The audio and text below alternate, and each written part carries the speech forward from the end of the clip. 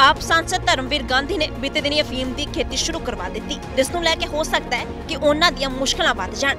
ਕਿਉਂਕਿ ਇਹ ਖੇਤੀ ਪੰਜਾਬ ਦੇ ਵਿੱਚ ਗੈਰ ਕਾਨੂੰਨੀ ਹੈ।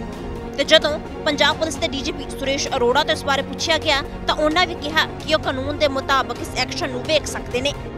ਗਾਂਧੀ ਜਿਹੜੀ ਹੈਗੀ ਹੈ ਮੂੰਗੀ ਦੀ ਖੇਤੀ ਕਰਨ ਜਾ ਰਹੇ ਜੀ ਉਹਦੇ ਬਾਰੇ ਕੀ ਕਹਿਣਾ ਚਾਹੋਗੇ? ਉਹ ਵੀ ਗੈਟਿੰਗ ਲੀਗਲੀ ਐਗਜ਼ਾਮਿਨਡ ਜ਼ਿਕਰਯੋਗ ਹੈ ਕਿ ਧਰਮਵੀਰ ਗਾਂਧੀ ਨੇ ਅਫੀਮ ਦੀ ਖੇਤੀ ਨੂੰ ਨਸ਼ੇ ਦੇ ਖਾਤਮੇ ਦਾ ਇਕਲੌਤਾ ਵਿਕਲਪ ਦੱਸਿਆ ਸੀ। ਜਿਹਦੇ ਬਾਅਦ ਉਹਨਾਂ ਬੀਤੇ ਦਿਨ ਇਸ ਖੇਤੀ ਦੀ ਸ਼ੁਰੂਆਤ ਵੀ ਕਰਵਾ ਦਿੱਤੀ ਤੇ ਸਰਕਾਰ ਨੂੰ ਇਸ ਨੂੰ ਕਾਨੂੰਨੀ ਬਣਾਉਣ ਦੀ ਅਪੀਲ ਵੀ ਕੀਤੀ ਸੀ। ਪਰ ਹੁਣ ਹੋ ਸਕਦਾ ਹੈ ਕਿ ਗਾਂਧੀ ਆਪਣੇ ਇਸ ਕਦਮ ਨੂੰ ਲੈ ਕੇ ਕਾਨੂੰਨੀ ਝਮੇਲੇ 'ਚ ਫਸ ਜਾਣ।